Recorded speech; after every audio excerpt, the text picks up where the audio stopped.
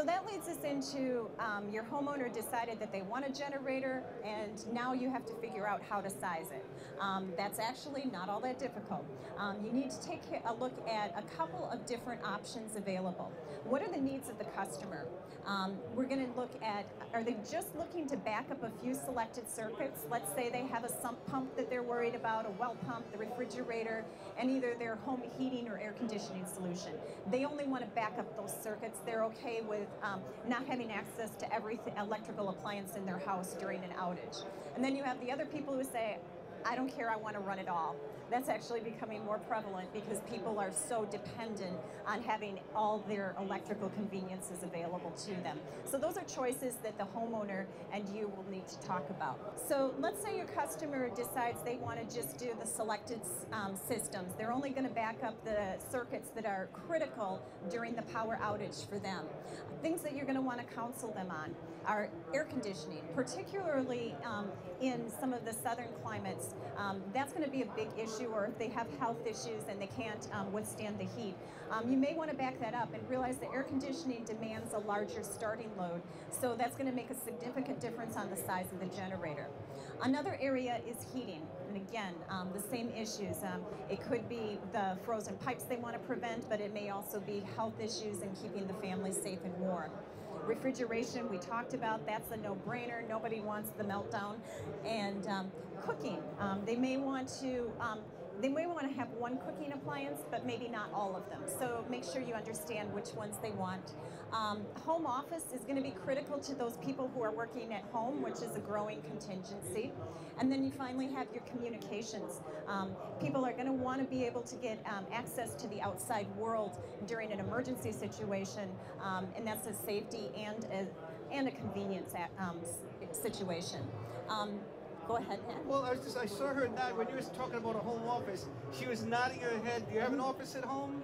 Yeah, and now how important is that to keep your business going? And this is where we're talking again about the trends changing. You don't have to look around. Here's someone right here who her home office is going to be critical to be up and running. So there is going to be a larger and larger market for these generators, and it's time to get up to speed on them. And with Melanie's help here, and I know I learn a lot every time I work with her, with her help here, we're all going to be uh, experts and be able to spread the word that you don't have to worry about your home office going down or special needs people being left out in the cold. Right. Another consideration is the water heater that they happen to have. Um, that's going to make a difference on the size of the generator, and you need to understand what, what type of a water heater they have. Um, if they have a tankless water heater from our friends over at Rinnai, it's going to have little or no load, so you're not going to have to um, upsize your generator for that. If they have an electrical water heater, um, that's going to take a significantly more load, and I'll guarantee you most people are going to want hot water during an outage because nobody wants that icy cold shower. So so um, again, understanding the, the water heater type is a, is a big issue. Um, and then you need, um, in certain areas, people have the basements, you have to back up that sump pump, and if they have well water, you have to back up the well water. One very important point to uh, consider is also, listen to everything we just talked about. Melanie just mentioned the tankless water heaters running on propane or natural gas. We mentioned your gas dryers, your gas stoves, and also our generators were running on the propane or the natural. So this is a one fuel fits all in your house. So it's really a, a, good economical system. You're not having five different fuel things or different electric bills. It's really one main source of fuel now to power your own home and to keep your home powered if you lose that electrical power. Right. So that really covers the essential load situation, but you, again, as we mentioned, you're going to have people who just want to power up the entire house. It's going to take a larger generator, but it's going to give them greater convenience. So how do you do that? How do you size that? Um, well, one, one method is to have an electrical contractor come out and size up everything in the house for the electrical load. Um, that's probably the most accurate. Another method, though, that some people will use is they'll just take the um, statements of the um, various electrical bills and see what the monthly usage is.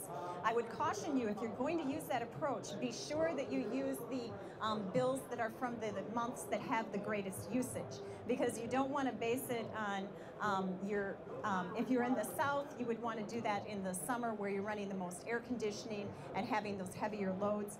Sometimes in the north, the heaviest loads come in the winter when they're running the heating and having all everything on inside because nobody wants to go outside.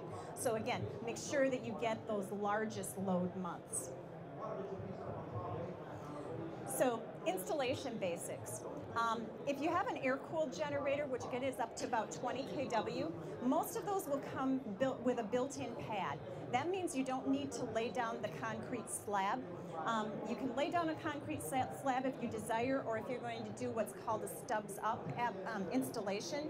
But again, for most installations, not required. You just pour a little pea gravel down on a level surface and you drop the generator in. If you go over 20 kW, you're working with a liquid cooled product. Those are far heavier, and those you definitely are going to need to um, pour that concrete slab before you do the installation. And make sure, what I recommend, put some piers in there that are going to get below the frost line. When you get into heavy duty units like that, you want to make sure you give yourself a good foundation to build on. So with the concrete slab, do it the right way and get below that frost so it doesn't heave on you. Right. Um, the next thing you have for choice on is automatic transfer switches. And these are going to be the brains of the operation that keep everything flowing, whether the homeowner's there or not. Um, you're looking at the sizing, and you have choices of 100 amp, 200 amp, or 400 amp panels, depending again on the specific home.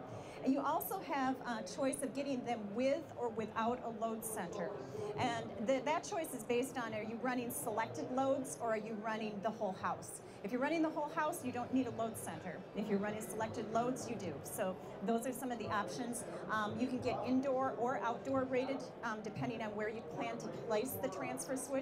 And you also have the option of getting um, service entrance rated uh, or not. So um, again, those are some of the options you'll be able to choose on um, the transfer switch side. And then finally, you're going to need two types of professionals on this installation. You're working with gas, so you need a gas professional, and you're working with electricity, so you need an electrical contractor. Um, so you need both types. Well, this is why I'm glad we see so many contractors showing up here. Remember, being a contractor and overseeing the whole job, you'll be able to hire these guys as subcontractors underneath you. So you don't have to worry about having to, to do everything yourself on it. What we need too is good professionals who can go out there and coordinate everything because this is not an overnight process. It's usually about oh, two to maybe three weeks from start to finish.